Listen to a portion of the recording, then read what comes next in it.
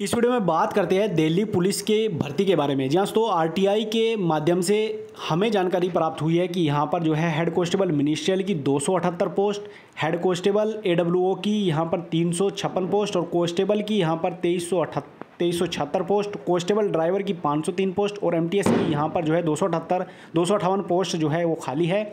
RTI के माध्यम से दिल्ली पुलिस ने जो है विवरण दिया है, कितनी पोस्टें हमारे पास फ़िलहाल जो है खाली है और जल्द ही 15 नवंबर के आसपास जो है ऑफिशियल नोटिस देखने को मिल सकता है। जैसे ही इसके रिगार्डिंग को ऑफिशियल नोटिस जो है आता है तो आपको वीडियो के माध्यम से साथ में आपको टेलीग्राम ग्रुप में भी अवगत कराया जाएगा और उसके साथ साथ आपको जो है फॉर्म भी भर के दिखाया जाएगा, कैसे आप दिल्ली पुलिस के फॉर्म को भर सकते हैं। तो जो छात्र छात्राएँ दिल्ली पुलिस की तैयारी कर रहे हैं, उनके लिए काफ़ी इंपॉर्टेंट न्यूज़ है।